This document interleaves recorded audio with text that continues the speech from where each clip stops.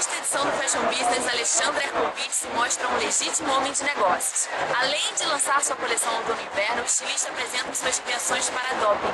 São 25 peças desenvolvidas especialmente para a marca. A gente conta essa novidade lá no nosso lounge. A linha Hershkovitch, que é a linha casual, a linha jeanswear, ela, é, ela tem lavagens um pouco mais discretas, ela tem mais jeans brutos e tem uma, uma, uma coloração mais clássica. E o, a, a linha que a gente faz, essas 30 itens para doping, já tem uma lavagem mais agressiva e já tem, é, tem uma característica de jeanswear muito mais marcante do que a linha Hershkovitch. Como é que você enxerga hoje esse mercado aqui?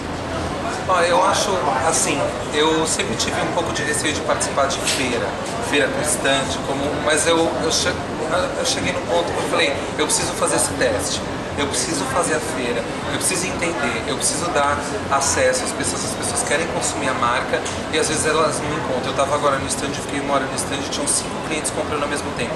Eu nunca vi isso acontecer, porque eu nunca tive um stand frequentado por muitos clientes. A marca não sobreviveria 20 anos se não vendesse. Então a gente pensa em venda, a gente pensa em valor, pensa em roupa, pensa em produto 24 horas por dia. Né? Só que a gente no, quase nunca fala disso, porque nunca ninguém pergunta, querem saber outras coisas. E a gente sempre teve um sucesso muito grande na loja virtual por a gente não atingir o Brasil inteiro. Então a gente retomou com uma outra cara, uma outra ideia de loja e a gente está indo bem. E a gente agora está tendo uma invasão bem grande de fast fashions aqui no Brasil. Existe um preparo de vocês na parte comercial, para que a concorrência não seja tão grande? Olha, é, a, gente, gente tem que observar esse movimento assim como a gente observa o movimento oposto, que é o movimento de luxo.